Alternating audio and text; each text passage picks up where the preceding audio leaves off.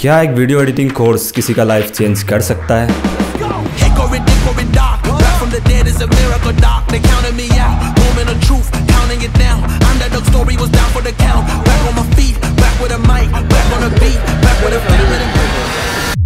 Twenty twenty three मैं Vodafone के किसी ऑफ़िस में नाइट शिफ्टिंग लगा रहा था। मैं पैसे तो ठीक ठाक कमा लेता था मगर मेरे हेल्थ और ग्रोथ दोनों की लगी पड़ी थी। और पैसन को फॉलो करने की बात तो छोड़ ही दो। मुझे ठीक से सोने का भी टाइम नहीं मिलता था। तो कुछ दिनों तक ऐसा चलने के बाद फाइनली एक टाइम आया, जब मैंने डिसाइड कर लिया कि नहीं, मुझे इस सिचुएशन में तो नहीं रहना है। And I quit the job to follow my passion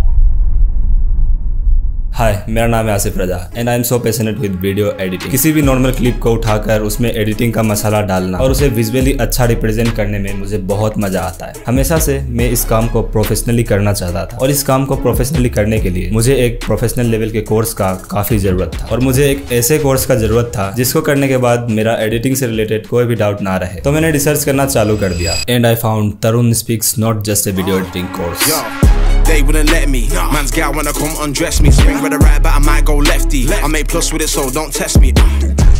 and this course has literally changed my life.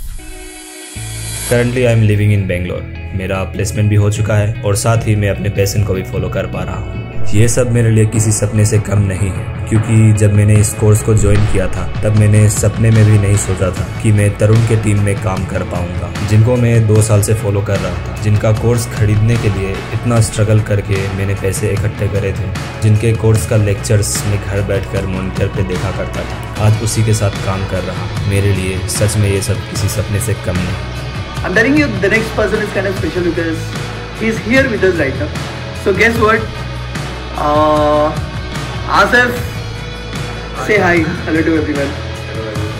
So I'm telling you, Asif. Is the first place, the first winner of 21 Day Challenge.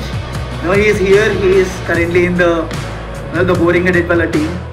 और last में यही बोलना चाहूँगा कि मैंने इस course में enrol किया था सिर्फ़ एडिटिंग सीखने के लिए मगर मैंने इस कोर्स से एडिटिंग के अलावा भी बहुत कुछ सीखा है लोगों से कैसे इंटरेक्ट करते हैं? जब डिस्कॉर्ड में लाइव सेशंस होता था तो स्टार्टिंग में मैं बहुत घबराता था, मगर समय के साथ मैंने वो भी सीख लिया। कंसिस्टेंसी के साथ कैसे काम करते हैं? इस कोर्स में 21 डेज़ का चैलेंज भी होता है। तो उस चैलेंज से मैंने ये सीखा कि अगर हम कंसिस्टेंसी के साथ काम करें डेली थोड़ा थोड़ा भी मेहनत करें तो हम बहुत आगे तक पहुँच सकते हैं। एंड द गुड थिंग इस चैलेंज का फ़र्स्ट विनर भी मैं बना। तो that's it for the video और मैं मिलता हूँ आप लोगों से नेक्स्ट वीडियो में।